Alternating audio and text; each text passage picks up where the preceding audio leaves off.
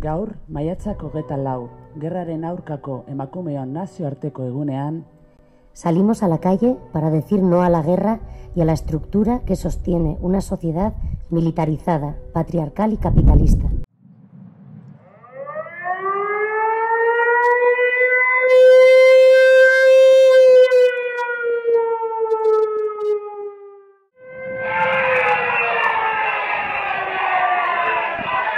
Bizitza eta lurra suntzitzen duelako. Emakumeon gorputzen inguruan garatzen delako. Eta berdintasun eza areagotzen duelako.